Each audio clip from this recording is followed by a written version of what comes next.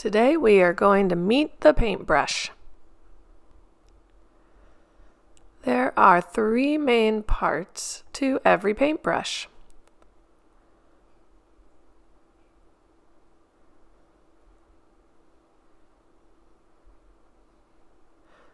The long stick, usually made out of wood or plastic, is the handle.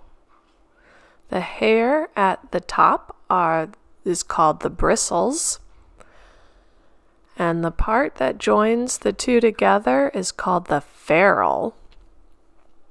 Usually the ferrule is made out of metal.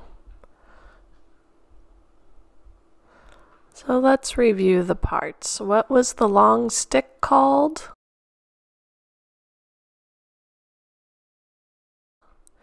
And the hair at the end? And the metal part. And now we're ready to paint. While you're waiting for your paint, you can use your brush and practice imaginary lines.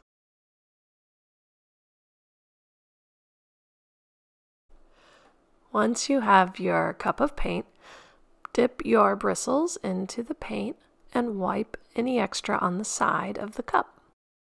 We're going to start by painting a straight line at the top of our paper. You'll notice the paint runs out pretty quickly. So you'll have to reload your brush and keep going.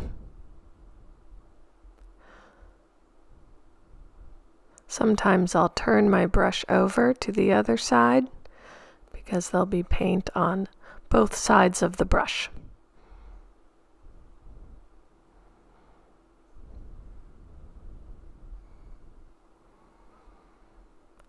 After my straight line, then I'm going to do a wiggly line. That paint keeps running out, so I keep dipping in because I like my lines to be solid black. So you're going to think about all the different lines that you know and start filling up the white paper with different lines. What's this line called? Yeah, dashed line. You could even paint shapes. Here I'm using the side of the brush so it makes a thinner line. Try not to fill up your whole paper because we're going to switch to a different sized brush later. If I need to put my brush down, I'm going to put it on a paper towel, not on the table. Let's pause here so you can begin your painting. Now we're going to switch to our thin brush. All these areas that I've left open is where I'll be painting. Start out just like you did with the thick brush, making a long, thin line at the top of your paper. Just like with the other brush, you'll have to keep loading paint onto it.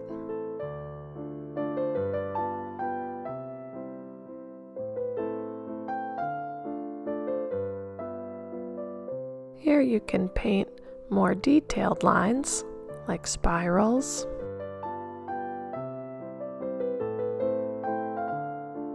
Loopy lines.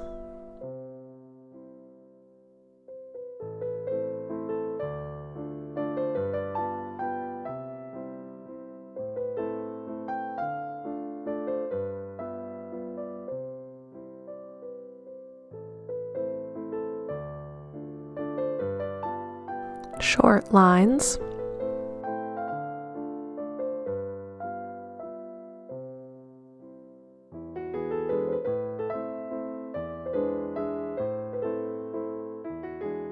And my favorite, crazy lines.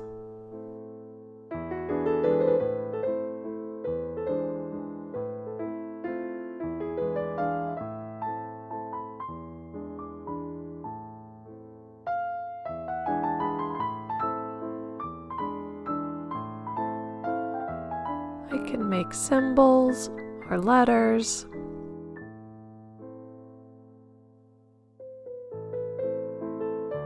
Small dots.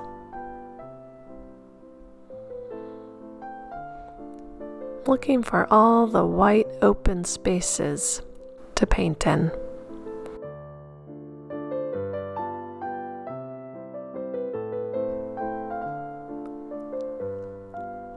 This is interesting. I just press the brush down and the shape of the bristles makes an interesting mark.